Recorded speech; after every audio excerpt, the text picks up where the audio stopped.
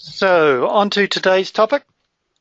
Our panelist today is Michael Voss. Uh, Michael's been on these webinars previously uh, with the internal auditing one. Michael is one of Australasia's leading compliance consultants. He's the owner of Pyxis Consulting. Michael is a past development director for the New Zealand Organisation for Quality. So, welcome, Michael, and uh, over to you for today's presentation. Oh, thank you very much, Craig, and, and welcome everybody. It's it's great to have the opportunity to once again talk to you, uh, folks, and hopefully uh, add some value to to, to what you're doing um, in your organisations. Now on, on today's topic. In New, here in New Zealand, uh, we've had the results of a Royal Commission inquiry into our health and safety record. And also, you've probably seen on your news the Pike River mine disaster, where we had 29 miners lost their lives uh, back in December in 2010. By world standards, it doesn't make good reading, our track record here in New Zealand. Workers over here are six times more likely to be harmed in our workplaces compared with Australia.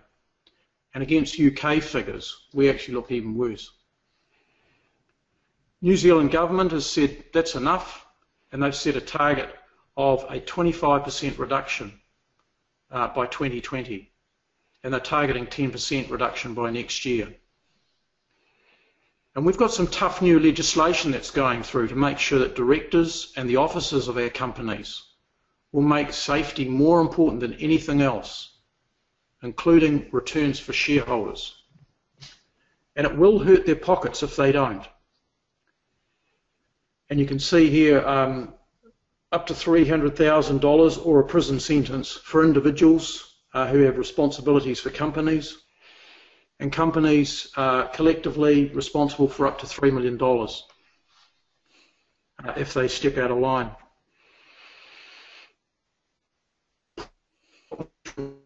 About. So let's dive into ISO 9001 and see what the minimum requirements for management review actually are. But before I do, you should be aware, if you're not already aware, that there is a new revision of the ISO 9001 standard that's currently in the committee draft. It's expected to be released in September this year. And in this re revision, we'll see all the clause numbers will change to comply with the Annex SL uh, standard, which will mean that all management standards will actually use the same clause number. So that's just going to make it a lot easier for people to integrate their management systems. For example, if you look at the Information Security Standard, ISO 27001, which was released last year, uh, which does conform to this new Annex SL numbering scheme, uh, then you'll see that you can read uh, there that management review in that standard comes out at, at uh, section 9.3. And this year we're of course expecting ISO 9001, the quality management standard, but also 14001, the environmental standard. They will both comply with the new uh, Annex SL. We're going to have to wait until 2017, however, for the new Health and Safety International Standard, ISO 14001, to come 40, out. Uh, 45,000. 45,001, that's right. When this is completed, the rollout of, of Annex SL across all of the management system standards, it's going to make it really easy for us to see the requirements for collectively right across those standards for something like management review. Because all we've got to look at is just clause 9.3 in any one of those standards. So management review, which is currently clause 5.6, changes to 9.3. As a result of this, I've actually referred to the new clause numbers in my ISO 9 that I'm using mainly the wording from the 2008 revision of the standard uh, because it's still unclear what the final text is going to be in the 2015 revision of the standard we've got a pretty good idea, but uh, I just didn't feel comfortable about putting the committee draft in here, although I have made some references to that. So firstly, if we look at management review, what does it say? It says top management shall review the organisations. Now you'll see here I've used integrated here. For ISO 9001, the committee draft, and, and also anything to do with ISO 9000, uh, you can insert in front of management system the word quality. If it's environmental, it'll be environmental uh, for 14,001. And I'm sure when 45,001 comes out, it'll say something like occupational health and safety management system. So it says here, top management shall review the organisation's management system at planned intervals to ensure its continuing suitability, adequacy and effectiveness. So let's just dive down. What do these words mean? To be suitable, it means the integrated management system has to be fit for all its defined purposes. So it's got to fit the, the purpose of the actual business. Adequacy. As a minimum, the management system needs to meet the regulations, the contracts, and all of the other regulatory and standard codes of practice and so on, the framework in which the business has to operate in. And this includes things like the health and safety legislation, which I referred to before, as well as legislation like the Companies Act and so on and so forth. Effectiveness. This means that the business can achieve what it set out to do. So it's the extent to accomplishing what we call the planned activities and also achieving those planned results. So these three things are what TAP needs to do. And of course, naturally, it needs the information to be fed to it in order to do this effectively. Management review is not an ad hoc activity. It has to be planned and it needs to be able to adapt to the changing business environment. It also needs to be aligned with strategy. And you'll notice also that records also need to be kept of the information that's received by top management and of the decisions they make. And one of the things, one of the changes, key changes in the ISO um, 9001 for this year is in actual fact where leaders have to be able to demonstrate much better some of these new responsibilities that they have around these areas. So record keeping in these areas are even become more important today than they were have been in the past. Can I can I just pause you there? So, what do you mean by top management? Is that how do you define it? Is that the CEO? Is it the board, or what? What does top management mean? Good, good question. I, I would I would regard this as not a governance issue, although there are areas, of course, which governance really care about. So, in other words, the board has some interest in it because, of course, of their judicial responsibilities uh, to not harm people and so on in their workplaces that they are ultimately governing. But I think from a top management perspective, we really are talking about CEO and senior management teams of organisations. So see, the top management have to be involved in management review. The, the, the, important word there is involved. So maybe maybe later on we talk about that involvement. Do they have to be there? Do they do they just get reports and things like that? So. Well, I think the issue comes the issue comes back to the previous slide I said, which was um, you know that they you, you've still got to prove that your management review. Let's just go back one slide. It, we never we can never lose sight of the fact that what what management review is about is to ensure the management system's continuing suitability, adequacy, and effectiveness. It's all of those three things. They're absolutely essential. So I think, big picture wise, we can never lose sight of that. Now, if that means there are some responsibilities that fit around the board in order to do that from a governance perspective, that's fine.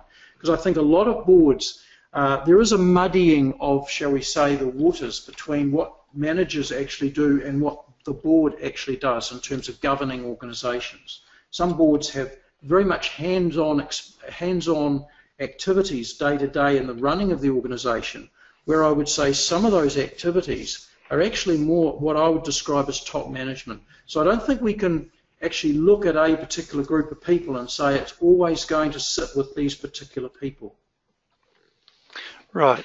Yeah, because um, I, I recommend to people read the uh, Pike River book by uh, Rebecca Macfie uh, that talks about um, the lack of management review uh, there. So you can see you, you, you get a lot of good learnings from that book where top top management aren't haven't been involved or don't review or don't um, or haven't conducted good management review of their systems, and so top management weren't aware of certain failings within the systems. So that's a good book to read if people want to read about uh, how poorly management review can be quite catastrophic. Yep, absolutely. Yep. No, that's good. Thanks for that, Craig. Okay, um, the the other the other area.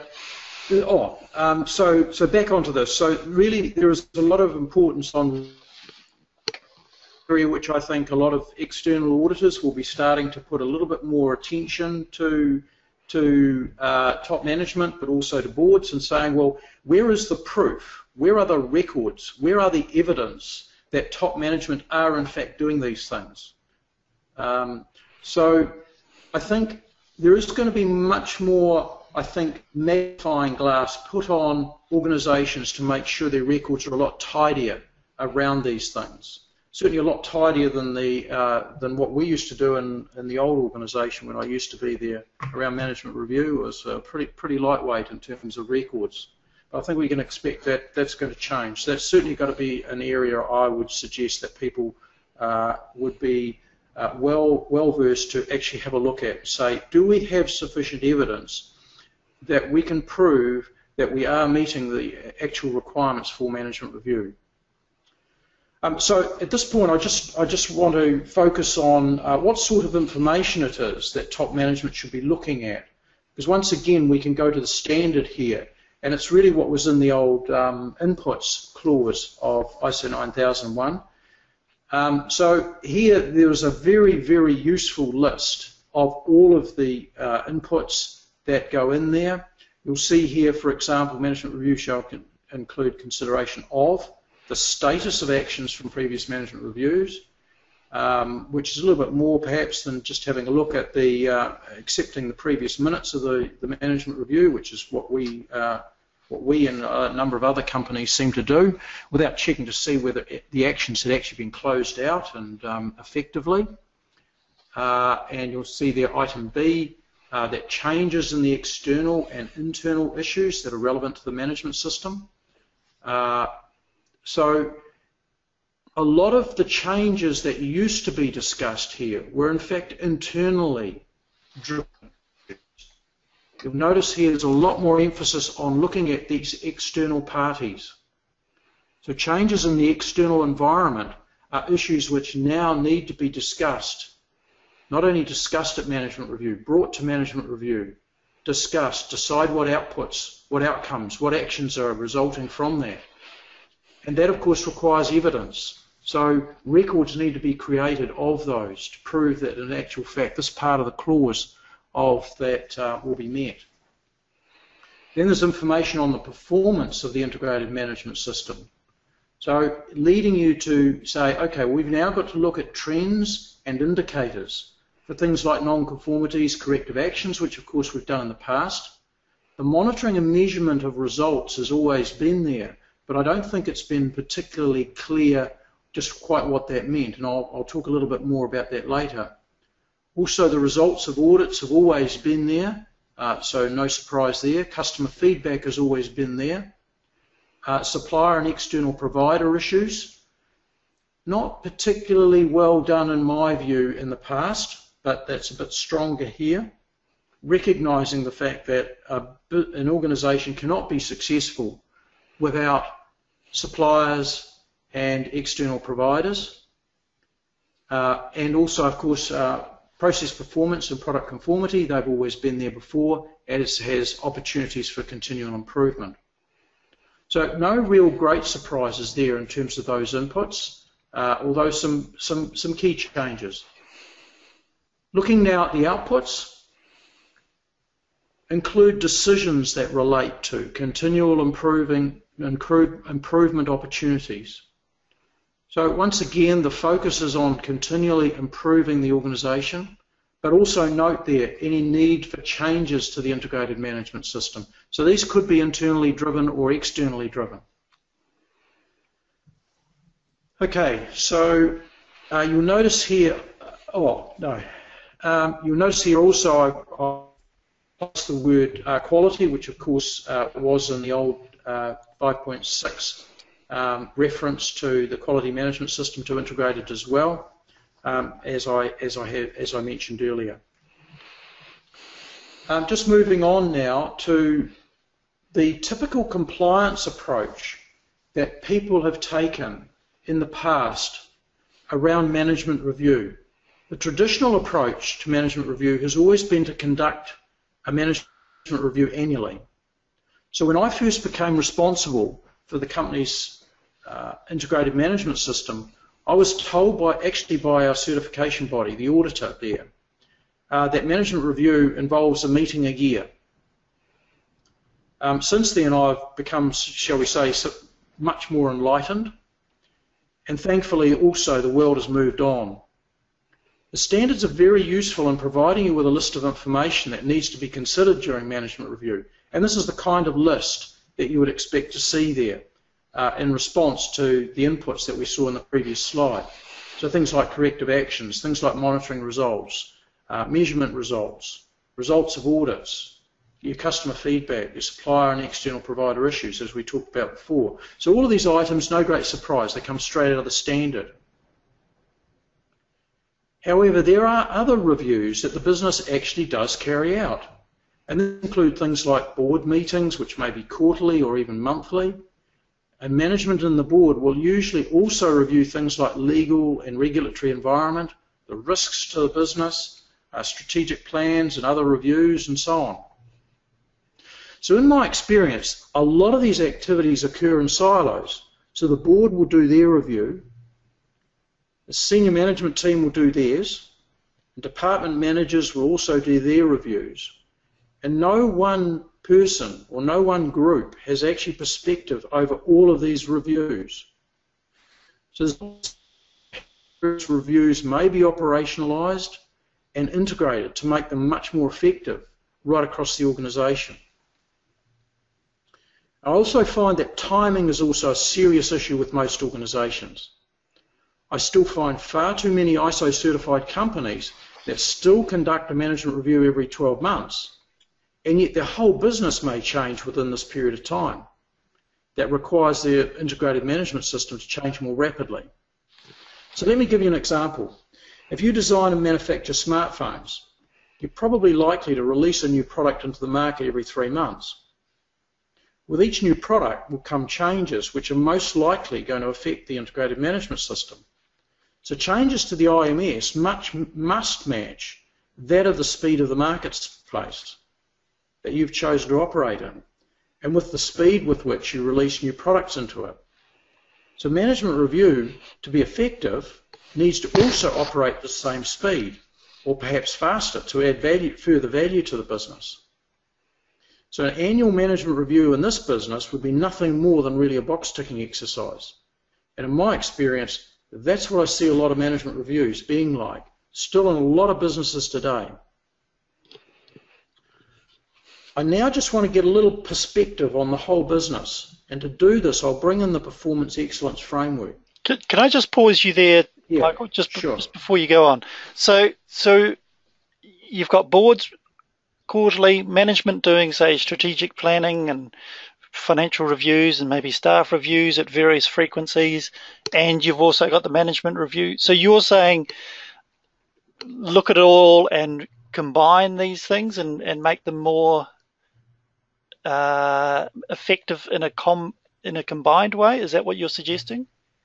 C correct. I'm not necessarily saying integrate these, although if you can if you can integrate activities sense on a time time and audience then that increases effectiveness across the organization. So if you've got a group of people sitting around the table and they're discussing various aspects of the business, say it's around risk, uh, then there's there's bound to be some other activities which should be reported at that same meeting and could well add value to the overall review process by combining activities where you've got the same audience and it's an appropriate audience, an appropriate topic to be discussing. I mean, I guess that's the terminology. I, I tend to call it operationalizing. Uh, uh, I guess um, lean people would call it sort of standardizing stuff, um, but that's really what I'm talking about. I'm talking about grab these kinds of activities, all these activities, look at them, decide which ones logically go together, which ones should be uh, carried out more often, less often, uh, work out whether in fact these activities should be carried out by senior management team at all. Maybe they should be carried out by uh, people a little lower down the organisation. Um, so it's not a one size fits all. It's a matter of just looking at all of these review activities and then decide as an organisation which ones make sense to be carried out by which groups of people within the organisation. Mm-hmm. And avoid a lot of duplication. Yeah, because you don't want one group looking at exactly the same stuff as another group. So and in my experience, that's what you find, Craig. Yeah, yeah. The the other thing I also, when I did my um, my blog on management review, is is I suggested that you have a meeting to to run your management yep. review. And I got a lot of criticism from the, the pedants who told me, well, you, the standard doesn't yep. actually say you need to have a meeting. But uh, of all the companies I've audited and visited, and everybody I can only really think of one company that doesn't have a management review meeting. They just do it via email with reports, and things are discussed through through email. So my my I always suggest have a meeting because then you know it, things are minuted. It's clearly actions are clearly defined. And, and what's your what's your view on on on meetings versus not having meetings? Yeah, look, good good question. Um, I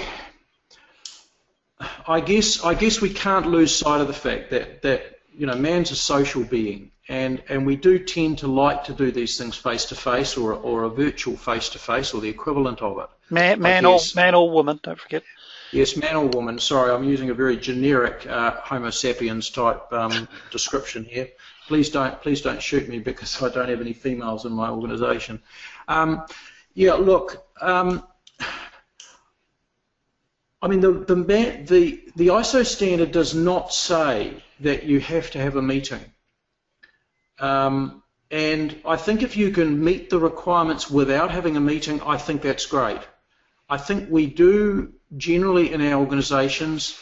I think when we do have meetings, I think it's a situation where we get where we can get far more effective management review functions, let's describe it that way, by conducting a meeting. I'm not suggesting it's all day, because that was another thing that I found. A lot of organisations that I came across would sit down and discuss these things for a whole day, and I think, well, mm, that's which nonsense. Is, which comes to a question from Jose, who's saying, how long should a management review meeting take, barring all data and follow-ups are presented? Well, I would say it, it ranges. I, I have seen but it's uh, not all day. it's not all day, no. Although it may be all day, but I would suggest it's not the review that is taking all day. It's the outcomes that have come out of the review, which is occupying management uh, in a much, much longer period of time. I mean, my view of meetings is that these are not occasions to present information um, necessarily. I think all information should be presented to people way prior to any meeting because meetings are expensive. They're probably one of the most expensive activities uh, that an organisation can be engaged with. When you consider the collective salaries of the people around the table and the potential lost opportunity cost, you cannot afford to have people reading documents and uh, during a meeting like that all of that prep work should have occurred prior to that. Uh, but when you get a team of people who are properly prepared and raise their points during a meeting, uh, you find that it's the outcomes you could never ever have achieved because you should be reviewing. You, you, you're reviewing your system, right? You, you're not actually solving every single corrective action or every, um, you know, you're not reviewing every single accident. You're looking at your systems and saying, what could we do better? How could we improve the system? That that's really what the review's doing, isn't it? You're not you're not solving every little little problem. No, no, that's dead right. You know, and as we said before, it's about is the integrated management system suitable for our business, given the fact that since the last time we met, uh, things have changed. Have they changed sufficiently where we have to rebuild it from the ground up? Are we a different business now to what we were the last time we met and considered is our management system suitable for our organization? Mm-hmm. And I, I, I believe the speed with which businesses work, the speed with which industries operate today, it can quite easily get forgotten about unless we try to operationalize key aspects of it. Mm-hmm. Here's, here's a tricky question uh, from Stuart, who's asking, what about a laboratory who has 17025, but the rest of the organisation has no quality management system? Who gets involved in the review for the 17025? Uh, good question. um, once again, I go back to I would go back to the uh, the standard and say is the yeah are the people who are involved in oversight, overseeing the laboratory, are they all of the people who need to be there to, to make the assessment about whether the integrated management system that is in place in the laboratory is suitable and effective and all those other things? So it's probably not the CEO who, who maybe may have a general manager underneath them that looks after the laboratory or something like that. Correct. However, I would still push. I would still push very hard for the CEO to get engaged. Right. This is this is where this is where the TC 176 working group are really unhappy about um, uh, ISO 9001. The delegation of this role of management representative down to a level where um, the CEO doesn't have to have anything to do with it. Right. And we do have these changes that that the the leadership needs to not only be engaged, but prove that they are engaged and promoting uh, mm-hmm. quality management and good quality practice. So, so you're, suge- you're suggesting for Stuart that he should have the CEO involved in, in the management review of the, I, the of I would, I would I would certainly suggest that that is a an aim that um, Stuart should go for uh, is to, and I know this is this is tough stuff, but you can always blame the changes to the ISO 9001 standard. But he's um, looking, he's, that, he's got 17025, so that's a different standard. Yeah, yeah but the thing is, you see, seven based on a 9001 core, so it's only a matter of time before um, I would imagine that working group um, would would have a look at that and then say, okay, well we could get some benefit out of saying the same thing in that standard. Mm-hmm. We've got so- Sonia. I agree. Not now. Yeah, Sonia's come up with a suggestion. I would suggest that for the lab, uh, people who control the resources should be pre- uh, present. I agree. You very quickly get to a situation, yeah. Uh, when, when I talk about the outputs, it'll be pretty clear about um, okay. about, about, that. But Sorry. Sonia's absolutely right. Yeah, yeah. yeah, it's a resource it comes down to who, who controls the resources. If you've got a group of people around the table who cannot swing resources to get things um, changed in terms of uh, integrated management system, then you haven't got the right people around the table. So Sonia's absolutely correct. Okay, so let's. Sorry to interrupt you. No, that's all right. Uh, that's fine. It's important we answer those questions, not necessarily what I've got prepared. okay, okay so you've got your criteria. Yeah, so I, Yes, I'm just going to I'm just going to gather some altitude now and just talk talk about from a different perspective, um, a different lens, if you like, the performance excellence framework lens. Um, so I'm not sure how many people here are familiar with this, but let me just walk you very quickly through this. Um, the criteria framework really just provides a view on, an, on, what an integrated system looks like. So whenever whenever somebody says to me, well, what does an integrated system look like? I always pull out the criteria. I don't go and try and grab all the different management standards and try and line them all up and say, well, this is what it all means. Uh, I always go to the criteria framework because to me, this is this is the ultimate way of looking at um, an integrated integrated system. So this is where over the left-hand side we've got leadership, strategy, and customers over here, and this is this is commonly the driver of the organisation. Have strategy, understanding what customers want, and that drives the organisation. You've got the workforce and operations, which drive the results. And you've got the connection between these two are this foundation, what we call category four. And this is the, the foundation is what we know, what we measure and analyse to improve the organisation. The organisational profile, so that's this bit at the top, really defines the environment the business operates in, its relationships, and its strategic challenges. And it's this profile which makes every organisation unique. So everything else from the organisational profile down is actually consistent and the same for every organisation. Doesn't matter who they are, whether a not-for-profit organisation, whether they've got shareholders, whether a privately owned company, it doesn't matter. So in the framework, management review sits down here. In four. It's in the foundation. Yeah, in, ca in category four. It's down here in this measurement analysis and knowledge management area because it's part of the analysis, the measurement and analysis that we need to invoke here. So it's just like a foundation of any building. We rely on it to keep the building strong and to prevent it from failing. Management review actually links the driver, um, leadership strategy and customers to results and operations and workforce. So it's this connection in through here. So in other words, management review connects every part to every other part of the business. We can actually represent this in a process form, which might be easier for some of you from the ISO world. So management review must get accurate information on the performance of the business, as I said before, from all of the areas of the business. Not, from, not just from results, but from operations, from the uh, workforce, from leadership, from strategy, from customers, all over the business in order to make the correct decisions to make improvements and changes that are needed.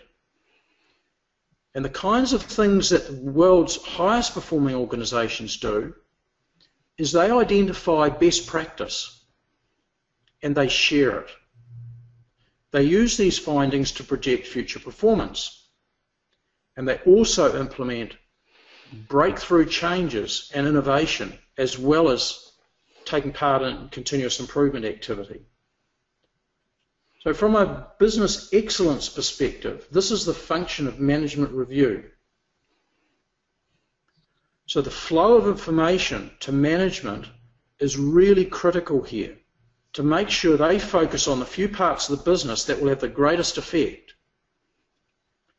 The input to management review is these performance improve, sorry, performance review measures and this is what we in QHSE manager positions can influence because it's one of the most important things we do, actually report to managers. Let's now look at who's carrying out these review activities. If you like, the customers of the information they need to decide on performance improvements that they need to make.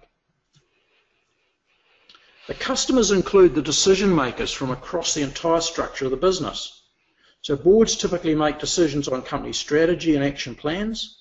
Senior management teams make decisions on company operations within the constraints of those plans.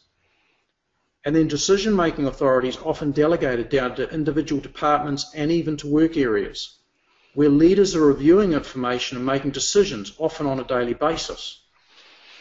So you see, as I said earlier, we've got, this, we've got these reviews occurring right throughout the organisation, right through from the board, right down to work area lead. So traditionally, management review has involved the activity that the senior management team performs. But what the board does is far more important than what the SMT does.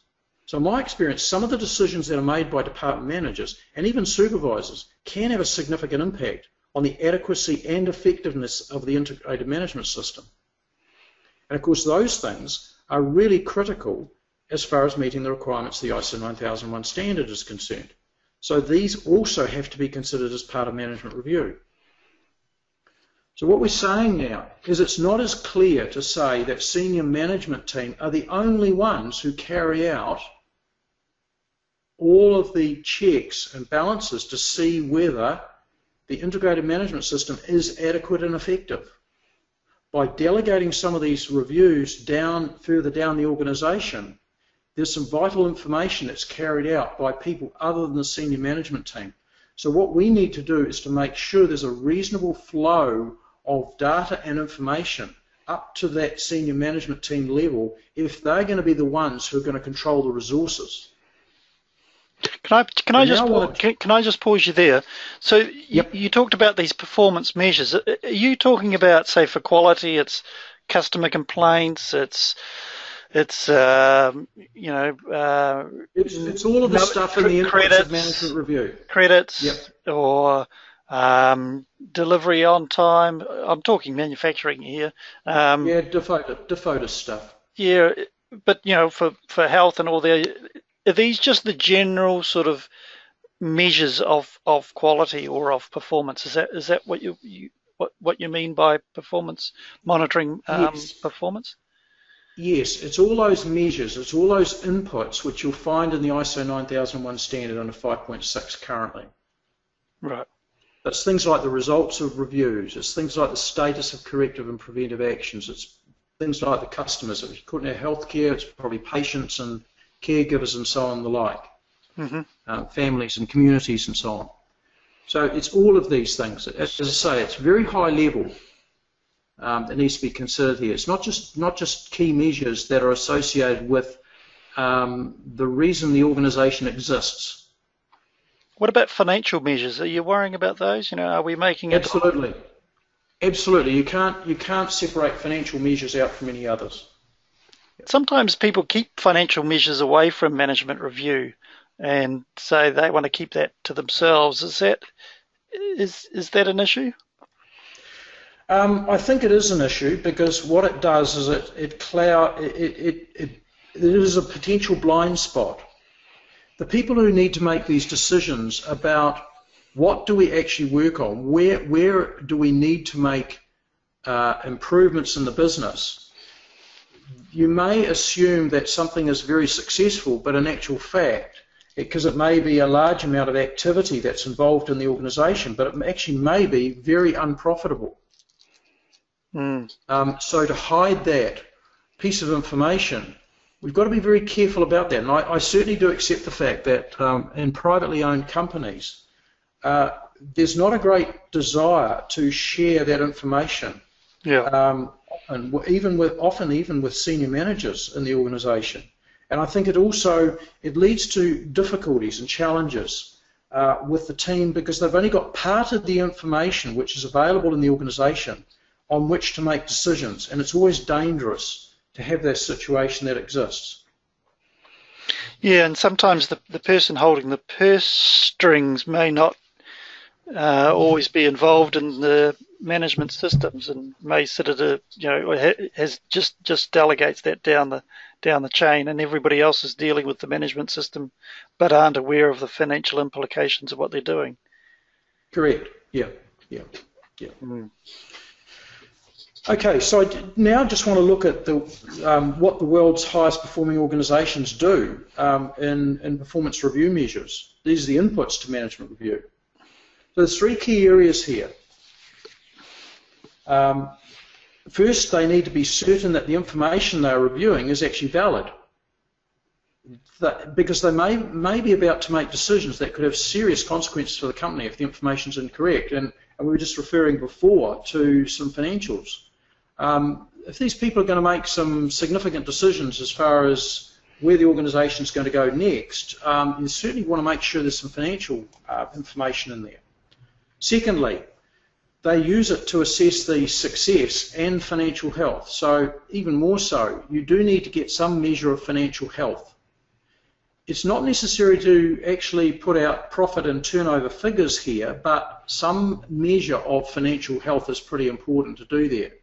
A lot of these are about um, It might be uh, variance to targets, for example. So it may be disguised financial information, which is used in a lot of organisations, uh, rather than raw figures and numbers. And I've seen that used quite successfully, uh, where you have budget figures and you can report financial health with respect to budgets and targets um, without using actual raw numbers. Uh, I've seen that used quite successfully.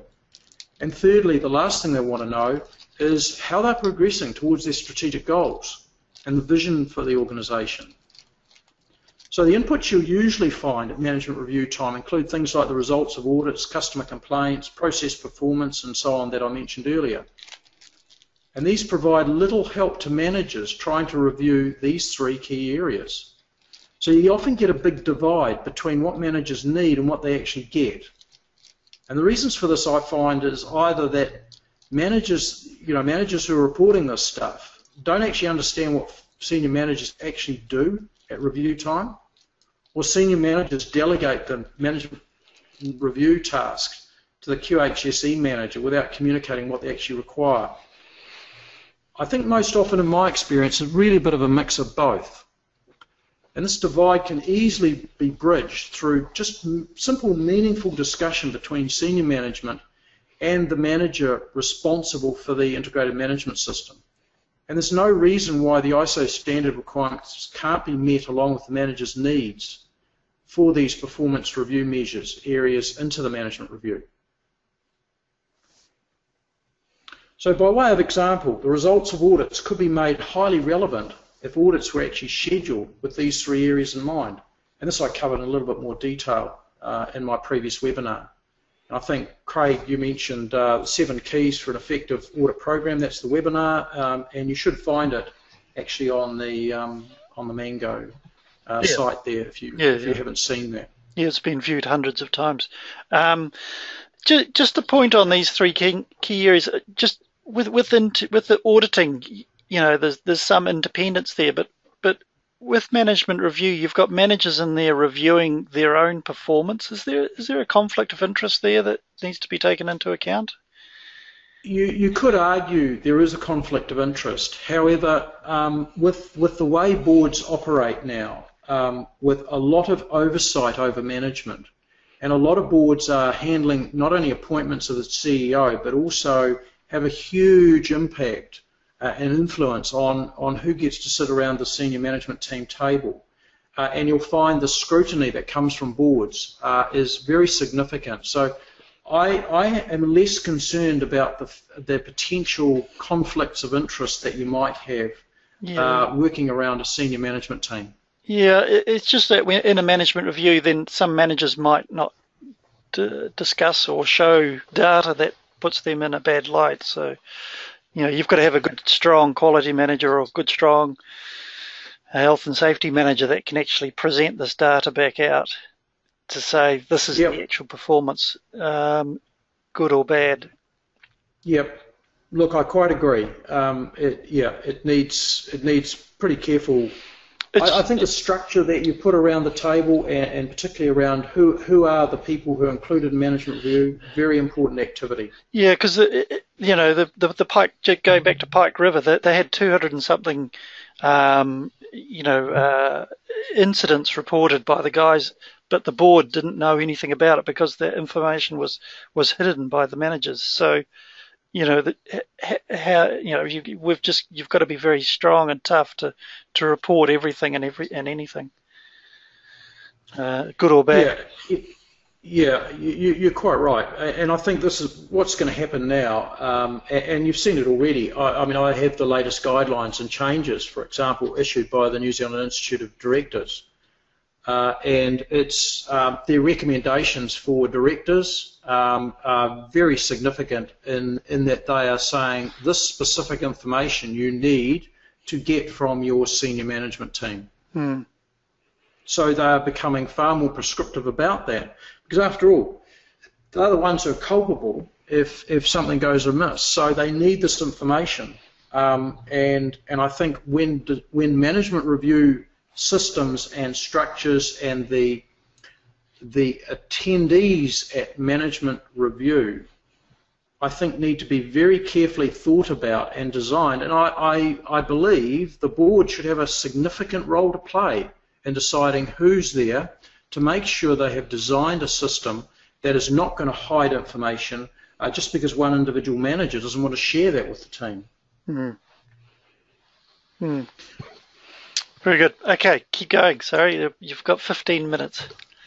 And uh, just a reminder okay. that people, people, can ask questions as we go along. We've got uh, 15 minutes left.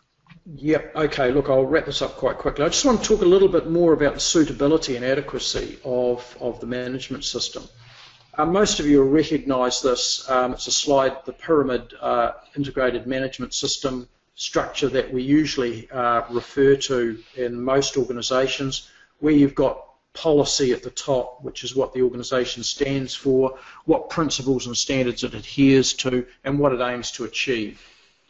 Um, in the middle, I guess you've then got the sort of how. How does the policy um, and it's the what is achieved by the organisation.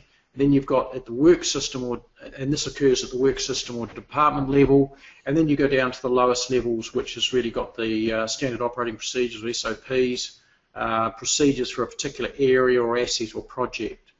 And the pyramid shape is just because at the top we have relatively few documents, and as we transition through the layers, we generate 10 or even 100 times as many documents.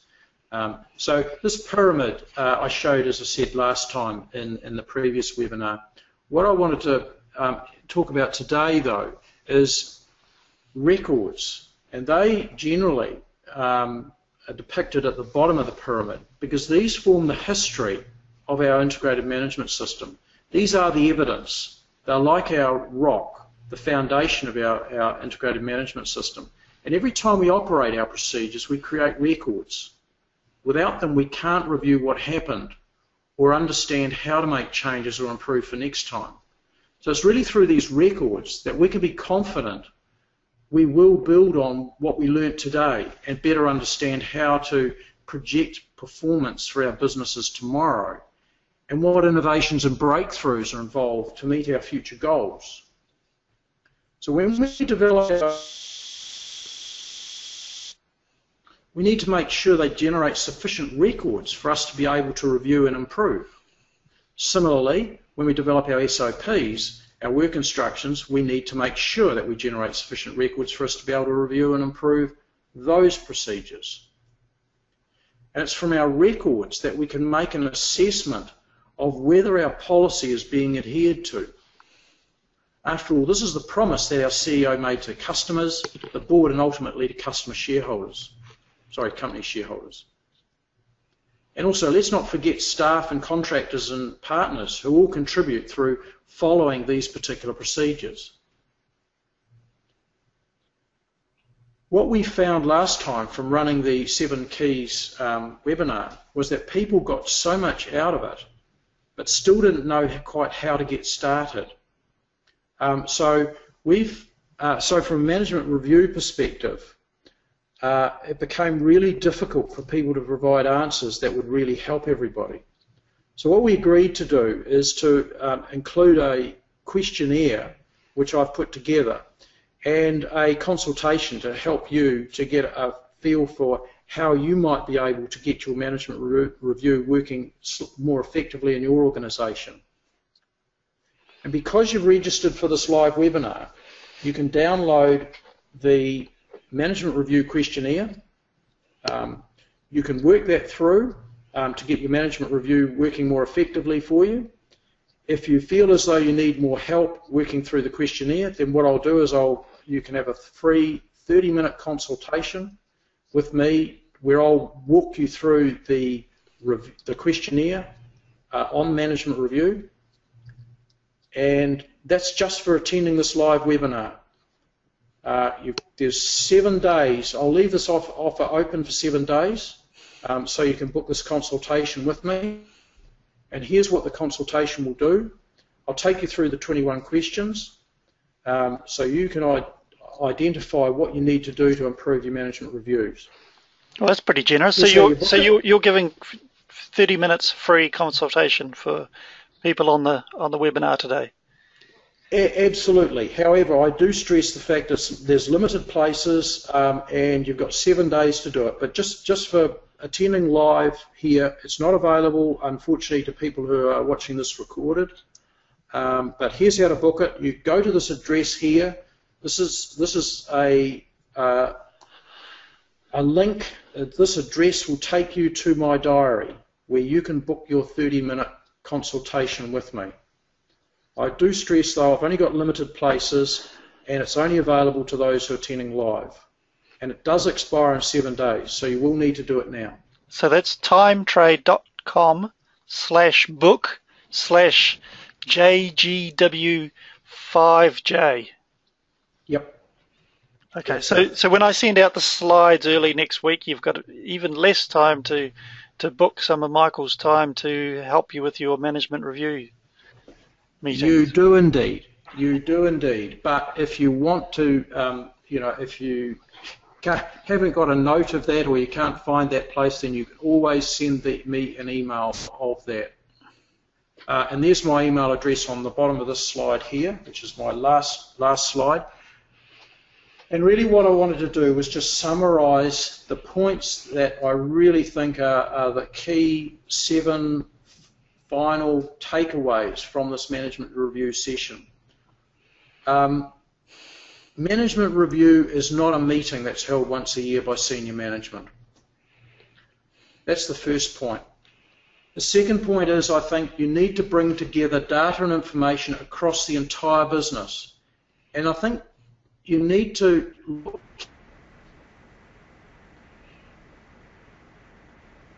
it literally open as to where some of this data and information comes from.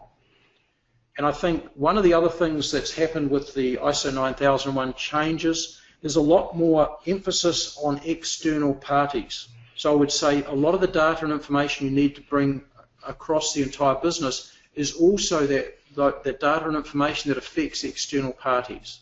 So make sure you include that there. Third, num point number three, make sure you analyze the data and information and check that it's valid. If you make decisions based on faulty data, you're going to get you're going to be focusing on the wrong things and you could actually kill your kill your organization. Point number four. Make sure that you've got appropriate levels of reviews carried out um, across the business. Um, for example, if you have got activities that need to be made almost day-to-day decisions, then those should be driven down fairly low down the organisation. If they're ones that involve high degree of resources that are required to be moved to make certain activities, then they're probably going to be made much higher up the organisation. But when you when you conduct reviews by multiple groups of people across the organisation, make sure there's good communications across those groups. I strongly suggest operationalising management reviews. So in other words, get your management review functions and make sure they some of those management review functions are carried out as part of the other operational, normal operational management uh, meetings or uh, occasions when other reviews are being carried out. Say, for example, monthly operational meetings could, inv- could include management review in those. Is that right? Abs- absolutely. Yep. And make sure, oh, and I, I talked before about making sure that all levels of the decision makers associated with management review collaborate to avoid duplicating effort. And last but not least, engage with all decision makings just to make sure that their needs are met. Um, and I think this last one is probably one which is the key to getting out of a situation where I find a lot of organisations are where they're just providing information to senior management and then assuming that they're happy with the result. And what happens is it's a box ticking exercise.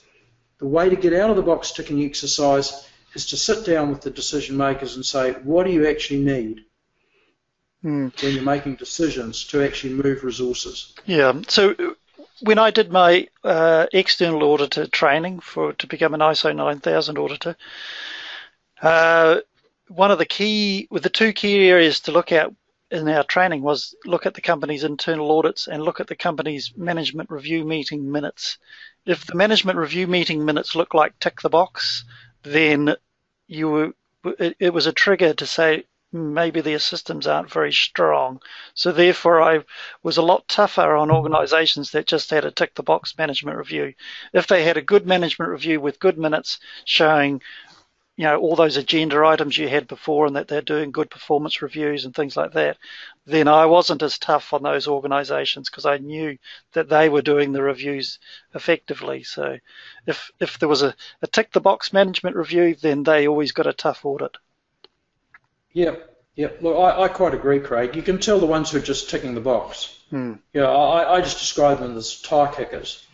Uh, you know, they're not serious about. You know, I mean, this this whole this whole message, I guess, for me, uh, you know, today, you know, quite quickly is. You know, if you want to make a difference to your business, to me, the key is, is get this management review function working right. Get management engaged in actually taking responsibility for this integrated management system. Mm-hmm. After all, it has to reflect how the business operates. And of course, that's one of the key moves that we're expecting uh, with the latest changes to the ISO 9001 standard. Mm-hmm. So that's really all I've got, uh, Craig. Just handing um, handing back to you, really. Very good. Do you want to just go to the next slide? So yeah, so thanks, Michael. So really good thoughts there. Um, you know, surely, you know, a lot of you can take up Michael's offer there and, and get free consulting advice on, on how you do your own management reviews, and Michael can offer some of his uh, cons- consultation experience. So uh, take that up with him. As I say, I'll send out the the uh, an email early next week with a recording of this and the slides as well, so you can go back and, and maybe share that with your colleagues. Um, and you know, I can't stress how how so important management review is. So, so thank you again, Michael. Uh, just for the next webinar, 1 p.m. again, New Zealand time, uh, on the 25th, and I will be presenting Mango. And so, for those people that haven't uh, seen Mango or or uh, want to get a free demo of Mango and see uh, how it operates, then uh, why not jump onto that webinar? You'll all get an invitation in a, in about a week's time. So why not? Uh, register for that webinar then. So uh, thank you all for attending. Uh, one question there. Um, Michael.